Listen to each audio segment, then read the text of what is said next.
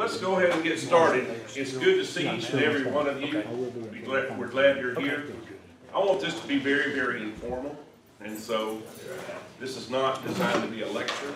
If anyone has a question or a comment, if you'll just wave me down some way to let me know, I won't hear your input. Uh, but I'd like to start uh, with a word of prayer. Brother Eric, would you come up here and lead us in a word of prayer?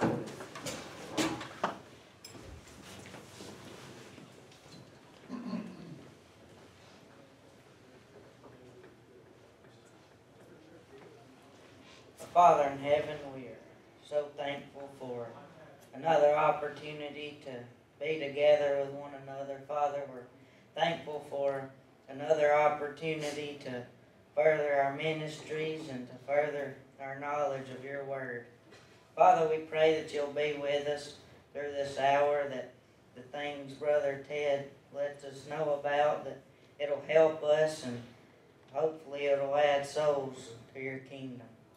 Father, we want to pray for all those on their hearts and minds that may be suffering from sickness or grief or any matters that may be troubling. Father, we just pray that they'll look to you for guidance and comfort.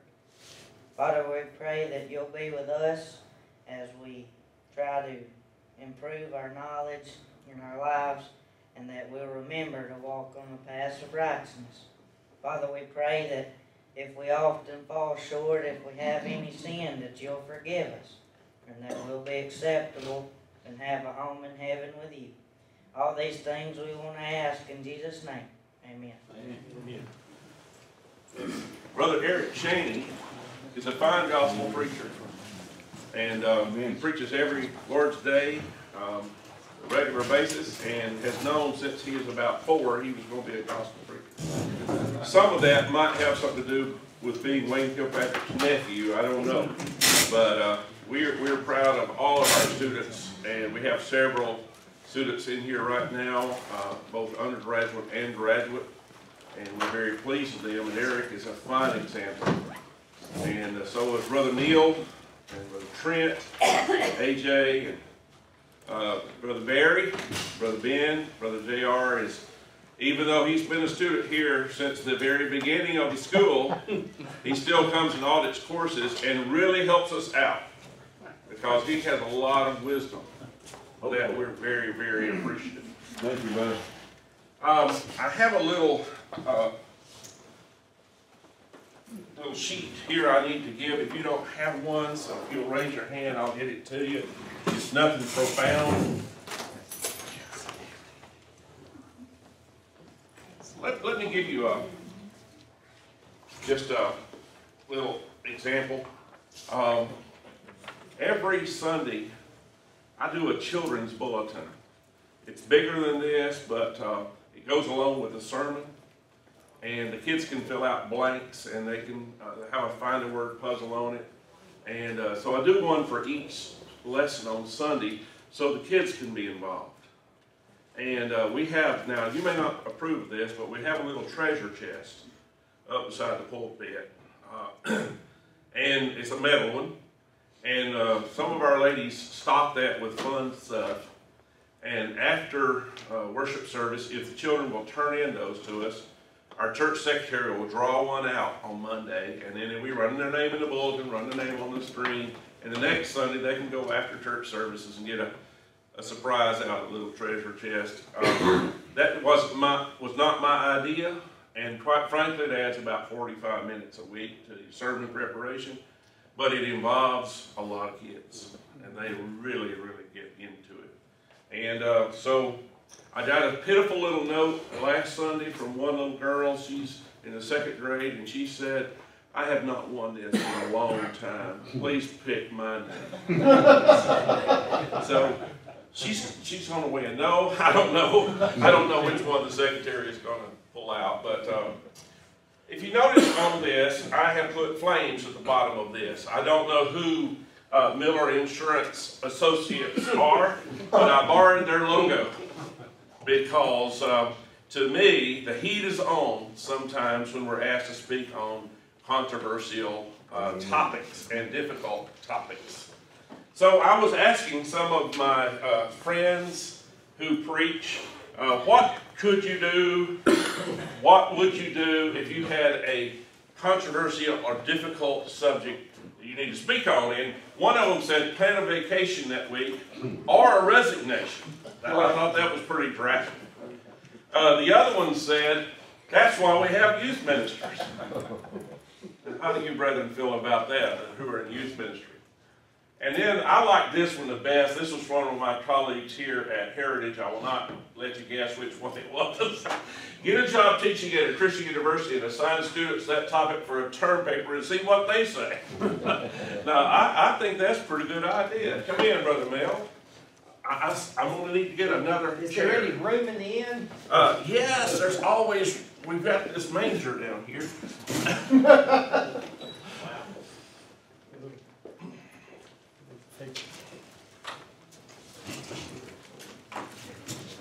Now, all those are kind of said tongue in cheek, but the truth is we all have to speak from controversial topics from time to time.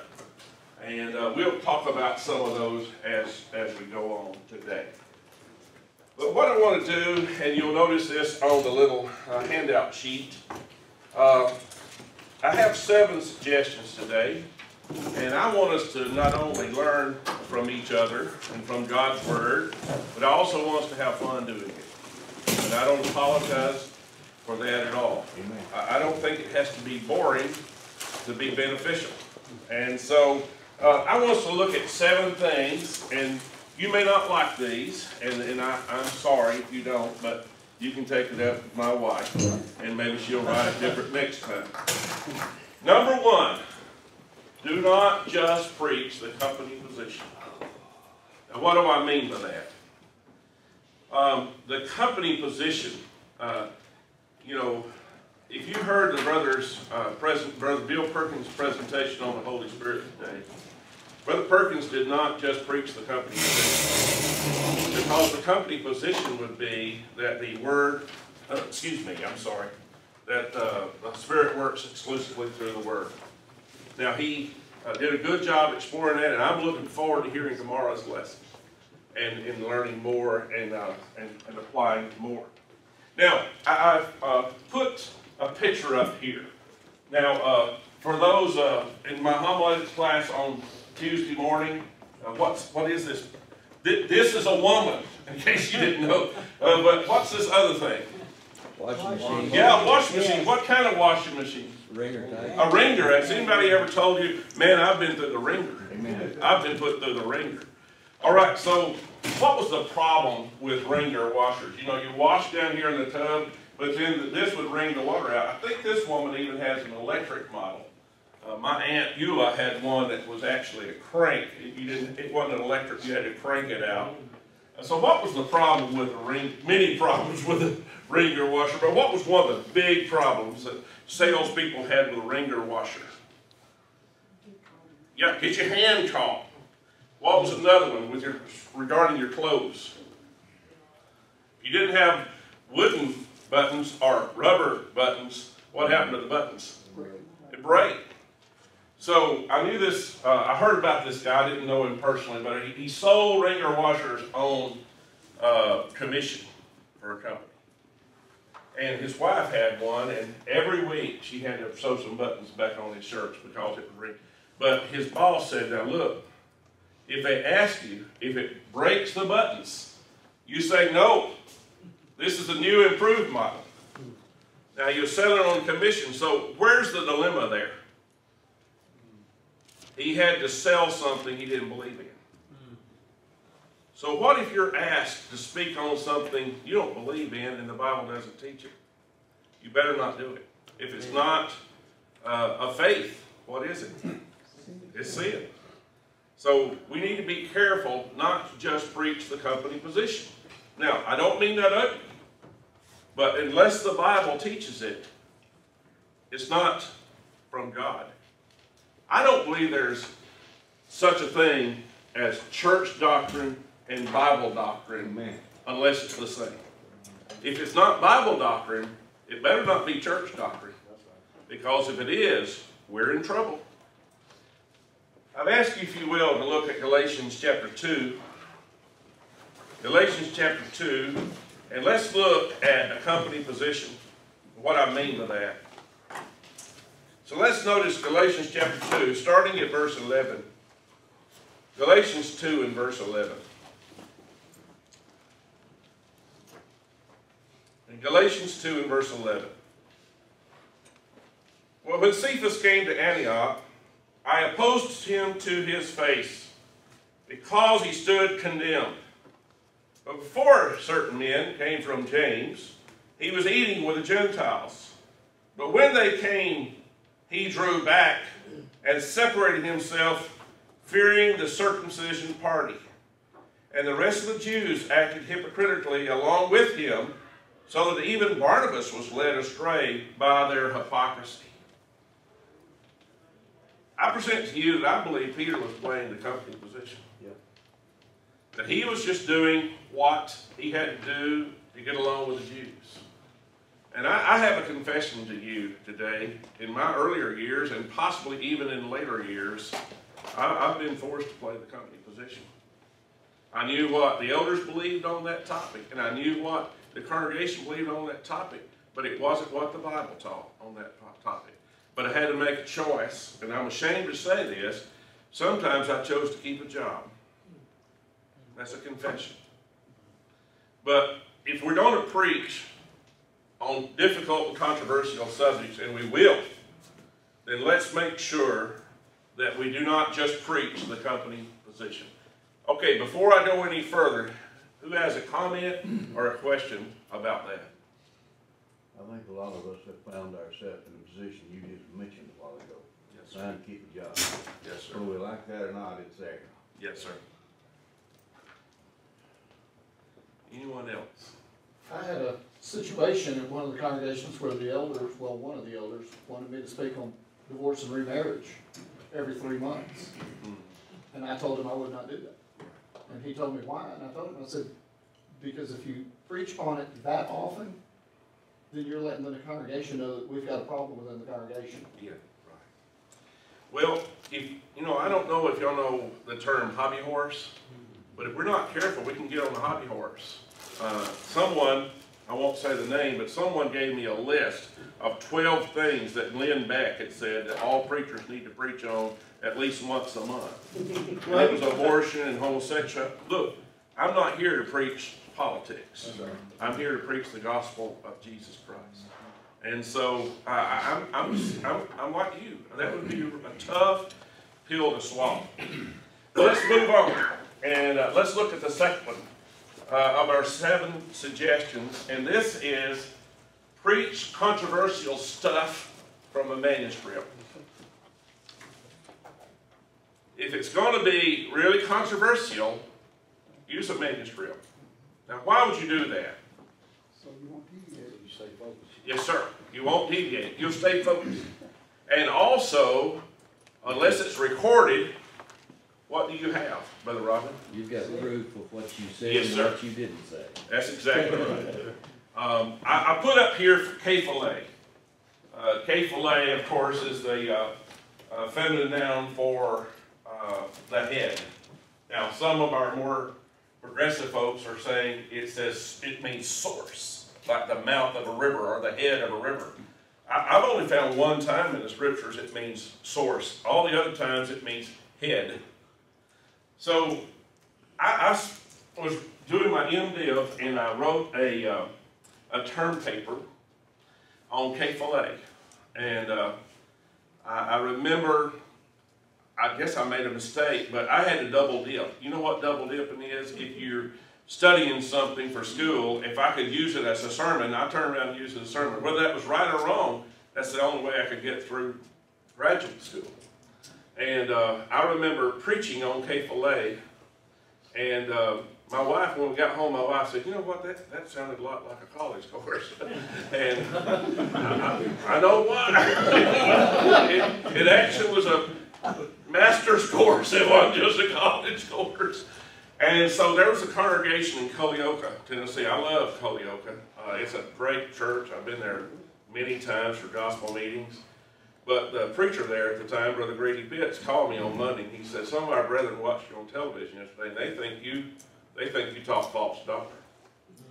I said, well, I tell you what, Brother Grady, uh, I wanna send you the tape, that was back when cassette, I know some of y'all don't know what that was, but we used to have these little tapes, Amen. cassettes, and, uh, I sent him the cassette tape, and, uh, I sent him the manuscript, and I said, uh, could I come and meet with you? He said, yeah, yeah, I'll, I'll, I'll do that. So I sent seven copies, I think that's how many elders they had, and seven copies of the tape, and I, I called him about the next week, gave him time, I said, um, when can I come to, he said, I said, once they read it, they didn't understand it anyway, and they said,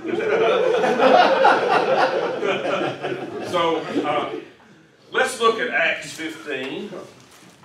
Acts 15, 22 through twenty-nine. You remember this, uh, Jerusalem council? Acts 15, 22 through twenty-nine. Now, they were having a problem because, uh, Gentiles, lo and behold, Gentiles were being accepted into the Lord. And they just wasn't sure that that was right. Come on in, Brother Randy, there's a seat right here. Thank you. So notice what they did. They could have just told uh, Paul and Barnabas and Silas and others just to go out and tell it. But notice what they did. They wrote it down because it was important and they wanted to make sure the message was out exactly the way the apostles and elders wanted it to be said.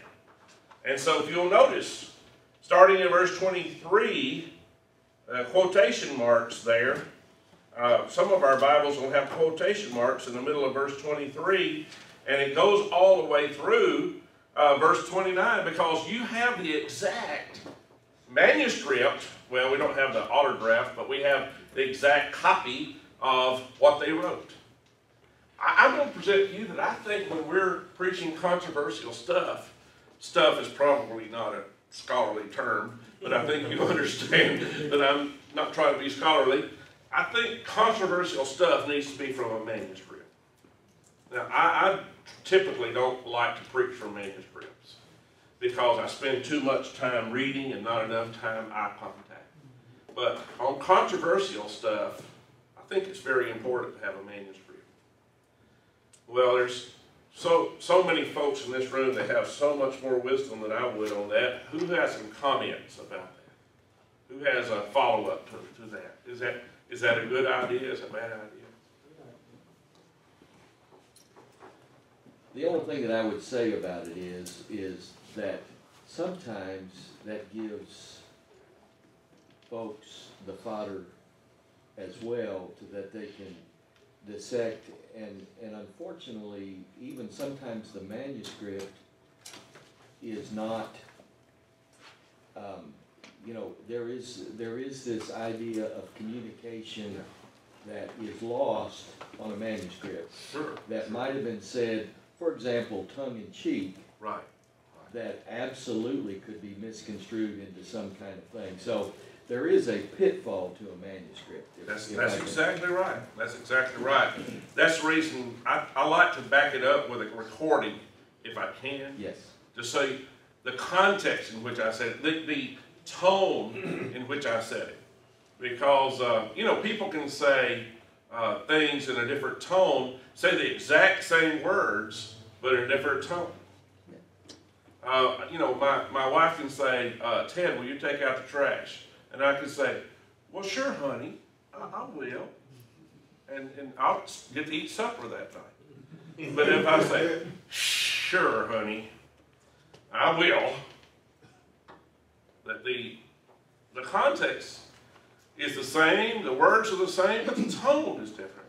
And so a manuscript, you're right, a manuscript doesn't always do. Any other input on that? Yes? You know, I agree with the manuscript thing, but I guess putting my money where my mouth is, I, I'm more Holy Spirit reliant in my preaching these days, and I, I feel like since I've gone to less notes, my preaching's probably gotten stronger. Yeah, well, I, I don't use a lot of notes, I guess our folks can tell. But, um, I would use, sometimes it's better to go with a transcript than a manuscript. So that you can say, you know, you can have what you actually said. I use, uh, Dragon, uh, software and, uh, you know, don't have to type it out, I can say, say something, and, uh, it's a little slower than I talk, although I'm from Alabama, I talk kinda slow, but, um, it, this Dragon software, um, it, it will type out what you've said. And, and the newer versions, you can actually play a recording through it, and it will make a transcript of it.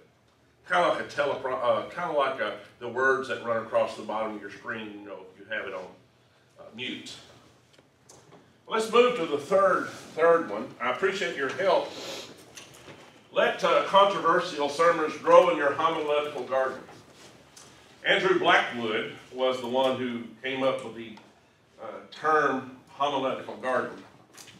Uh, and let, us talk about what a homiletical garden is. Uh, this is what I advise our preaching students here to do. Uh, now, I was raised on a farm, and, and my daddy would plant corn, uh, a row or two of corn in our garden at different times. We'd have some early corn, and then we'd have some middle corn, uh, and then we'd have some late corn. Now, why would you do that? Yeah, it, it, it scratch the seed. So you'd have some corn. Because if you just plant it all at once, then, you know, it might be, uh, you know, we call them roasting ears. I guess that was roasting ears, but you just, you know, we ran it together, roasting ears. Um, you know, they'd be too tough to eat. And so we'd say, I think we ought to do the same principle with sermons. We ought, we ought to have something in the beginning stages, in the middle, and in the, in the latter stages. So that um, I I do plan preaching. I I try to plan in advance a year of what I'm going to say. Now that could change because the elders could ask me to speak on a series.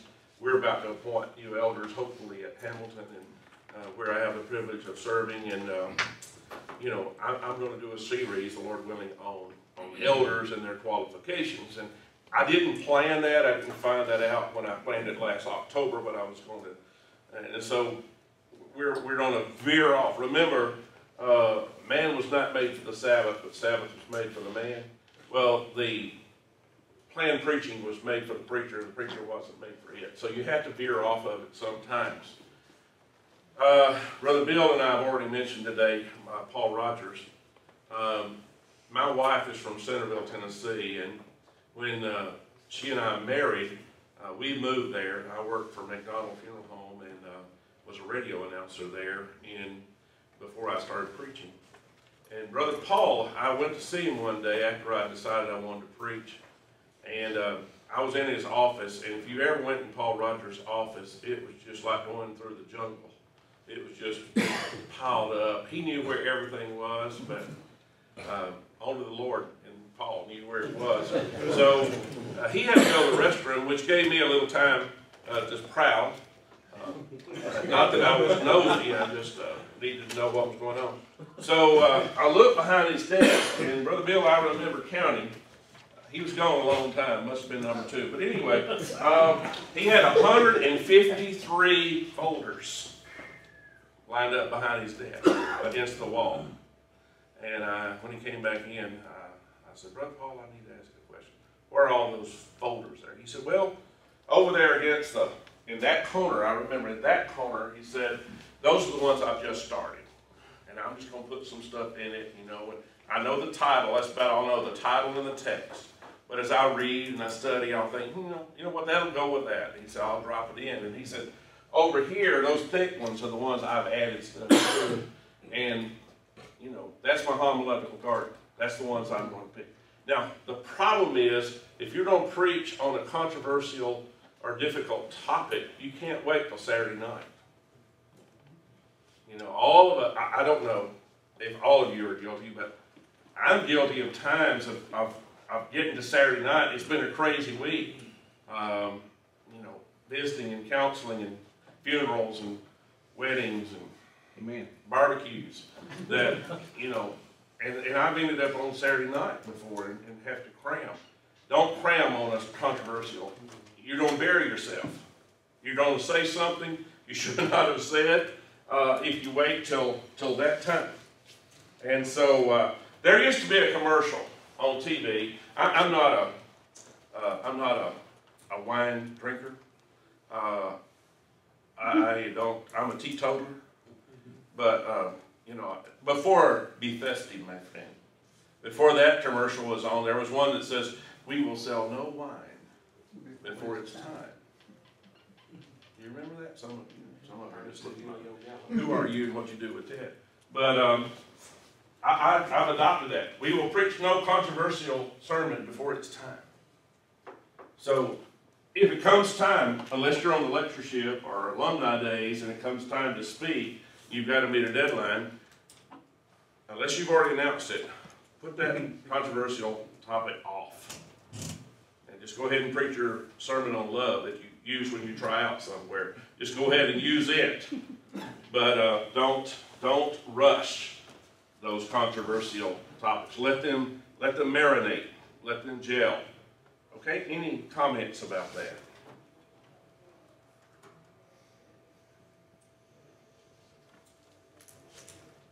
You know, Ted, this has never really happened, but I have asked my elders in the past, if I preach on a very tough topic, it would be so nice if when I finish, one of you all would come up and say, amen, the eldership stands behind that, and we hope you all will heed it, or something like that. And we could get our leadership to, to support us on these, it'd be very nice. Amen. Uh, I had a wonderful relationship at uh, West Seventh in Columbia when I was there for 16 years. Um, and when the elders knew I was going to speak on a controversial topic, one of them would get up and say, uh, "We believe the Word of God has been preached today, and we and we're standing behind it, and we're standing behind our preacher." And um, you know what? It wasn't an ego thing, but. Uh, that took a load off. That, that was a blessing. And uh, that's the only place I've ever experienced that. But it was a good eldership, good godly men, and they took it seriously. I, I, I, if you're uh, one of the elders in the congregation where you serve, and uh, please consider doing that. I mean, the preachers in this room, uh, would that mean anything to you if your elders got up and backed you up? Yeah. Who are you? What'd you do with my elders? Number four, number four.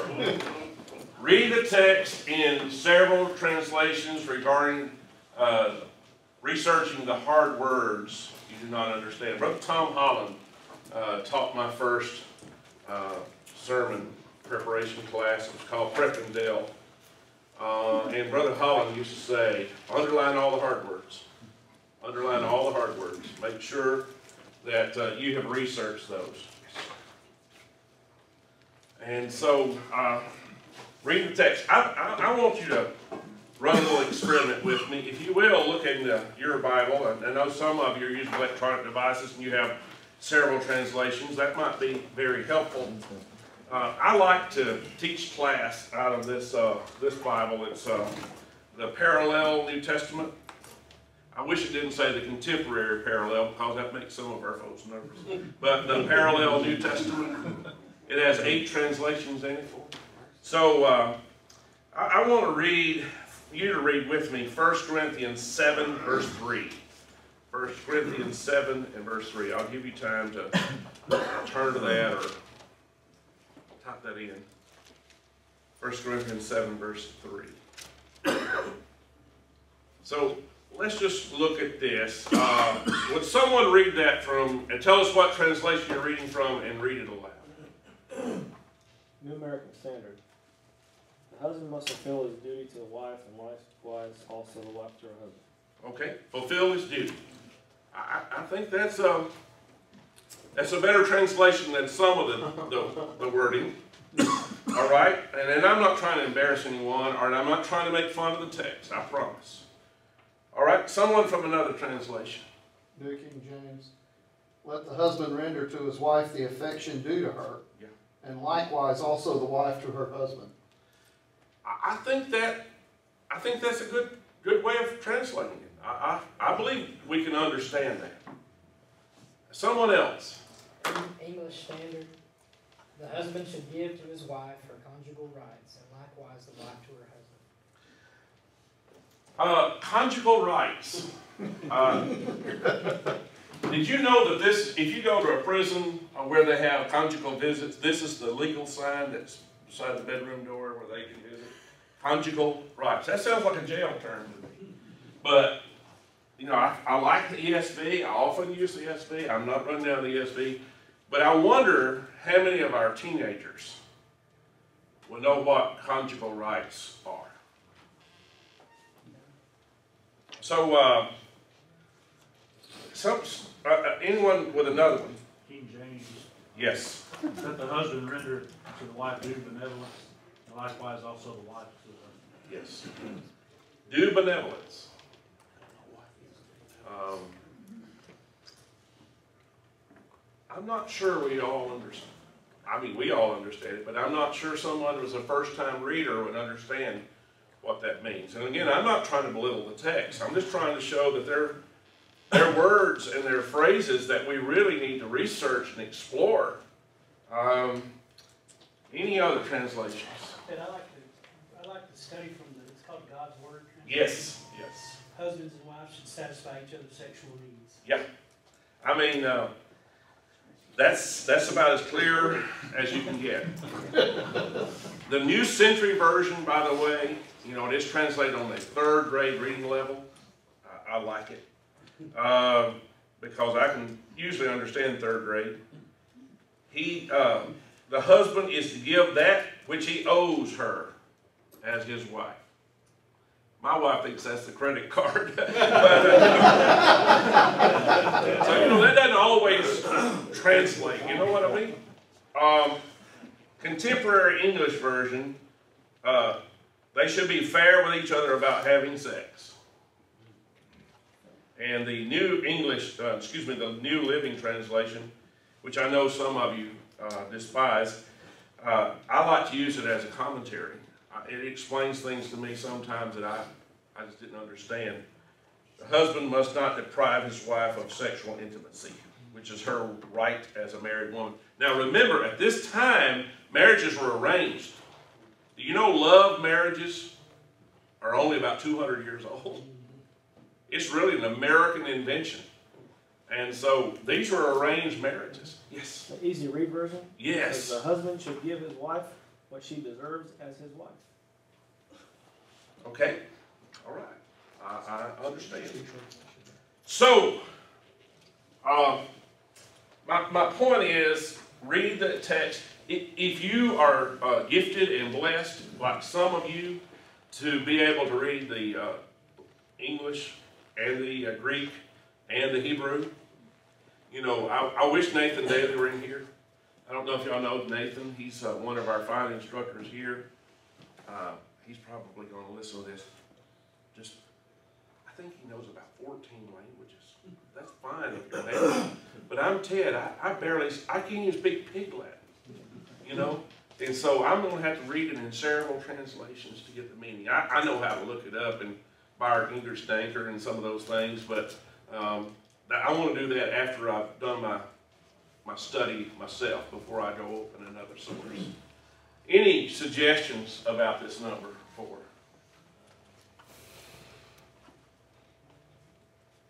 Okay, let's go to number five here. Use a lifeline. Call a wise friend. A wise friend. I like the word wise. Yes. Not a wise guy, but a wise friend. Um, did any of you know J. Noel Meredith? Did any of you remember J. Noel Meredith? Um, he has a son, Paul Meredith, that's preaching at O- Ohio Valley. Uh, J. Noel died with a heart attack in, at age 51, but he made a big impact while he was here. He wrote a, a commentary on Galatians. He uh, used to write, uh, he had a paper, Christian Light. And uh, Jay Noel, I used to work for him when I was an early first-time preacher. Um, I didn't, didn't make enough money to survive, and the elder said, "Well, you can find a job." And so I ran his printing presses, and would sell his books. We'd go to lectureships, and I'd run the booth while he was preaching. Then we'd take the money and run. No, so uh, I, I learned a lot from Jay Noel, and um, you know, one time we were traveling to uh, Montgomery to uh, what used to be the Alabama Christian Graduate School of Religion, I believe, which is now uh, University. And we were at the old landmark church building. And on the way down there, Jay Noel said, You know, I don't like the song I'll Fly Away. I just don't like it. Well, I was too afraid to ask him why he didn't like it. It's kind of like uh, when the disciples of the Lord came back and they saw Jesus talking to a woman at the well. They wondered why he's talking to them, but no one dared to ask him. Well, not that Jay Noel was the Lord, but I was afraid to ask him. So I held my first gospel meeting the next that summer down at Folkston, Georgia. That's on the Georgia-Florida line. And uh, there were only about 18 there, I think, and I was leading the singing and doing the preaching.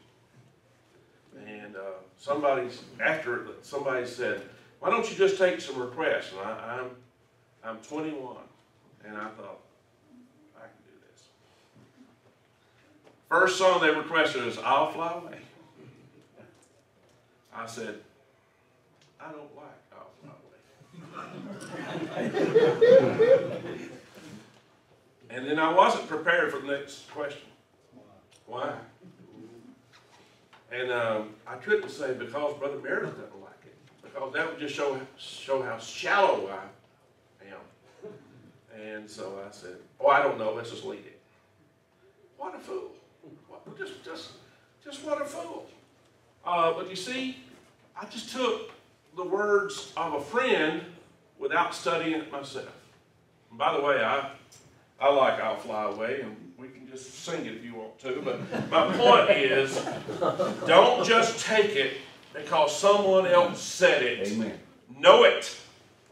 Know it from God's Word. Okay. Um, any comments about this one?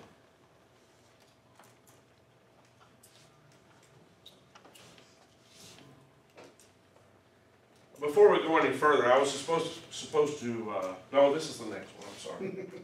Do research. Wikipedia is not a scholarly website. This is Stan Mitchell. Brother Stan Mitchell is a great missionary, and he teaches Bible at Freed Hardeman. They opened a new library at Freed Hardeman the other day. It had been down for about two years because they were remodeling it.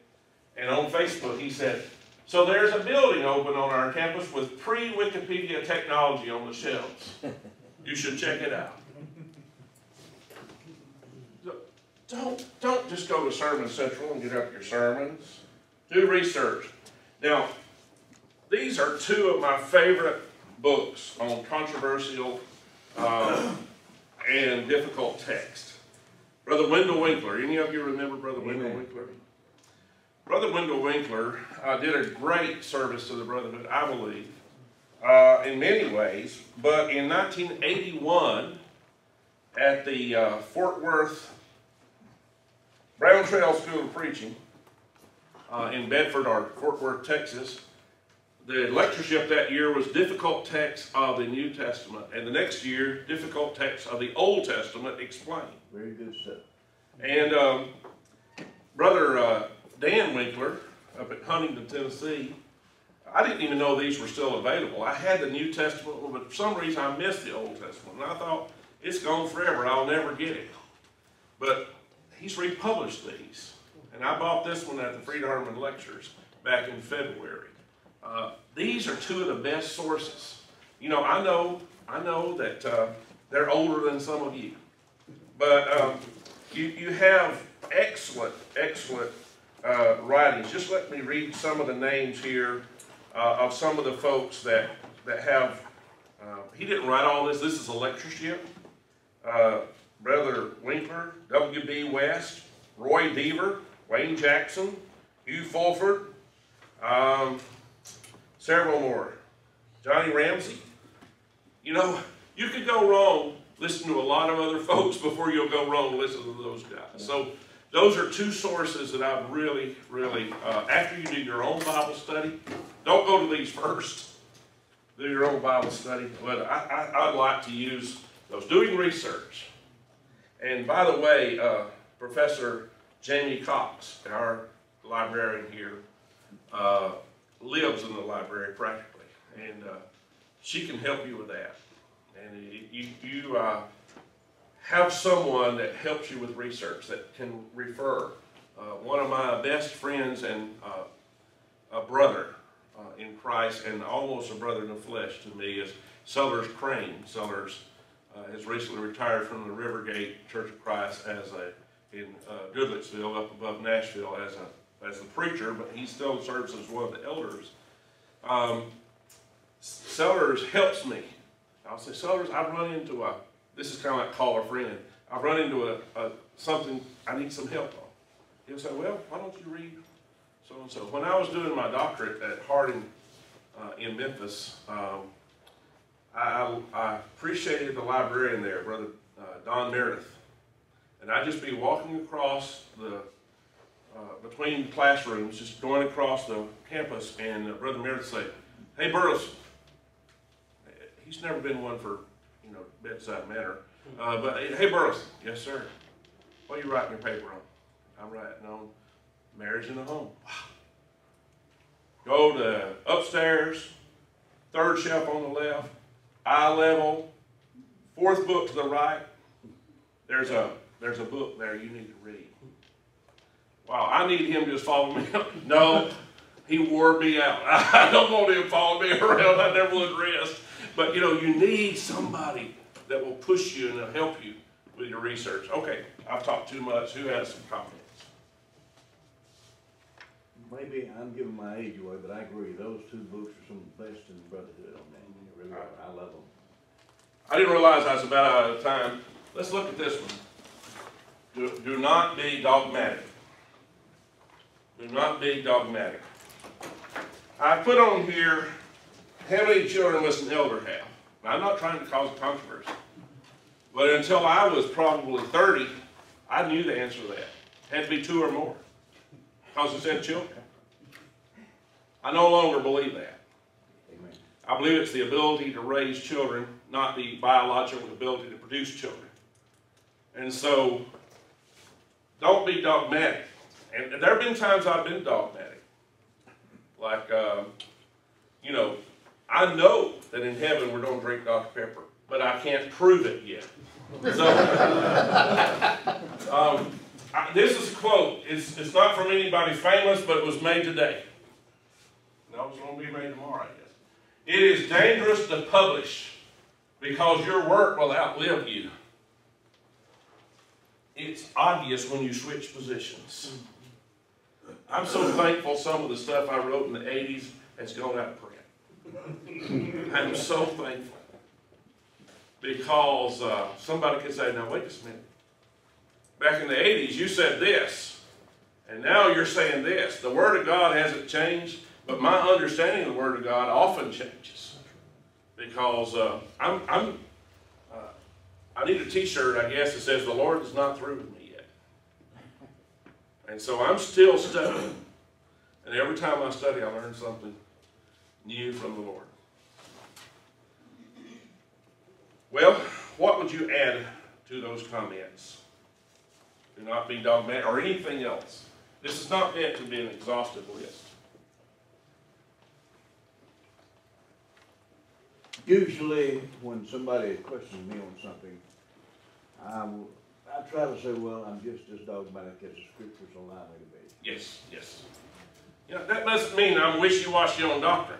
No, But uh, when it comes to matters of uh, matters of judgment, matters of opinion, don't draw lines of fellowship on that. you know, uh, I know, I know, brethren, they mean well, but if you do not preach from the King James version, you're a heretic to them. So, you know, hate to disappoint. Well, uh, I thought that's like Jesus used. we had a missionary from Belgium that was meeting with our elders at one place I worked, and uh, he was talking about it. And uh, one of the elders finally said, "Now, Now, let me ask you something, do you use, uh, the King James Version when you're preaching in Belgium? And he said, uh, no, uh, they don't speak English. And he said, then we're dropping your support. So let's, let's not be there, let's not be there. I, I, I was raised on the King James. I, if I quote, I quote the King James. That's, that was my mother's Bible, and I can teach somebody how to go to heaven out of it, okay? I think it's a good translation, but I'm not gonna draw lines of fellowship over it. No. Y'all been so kind to give me your, uh, this time of yours, and I appreciate it very much.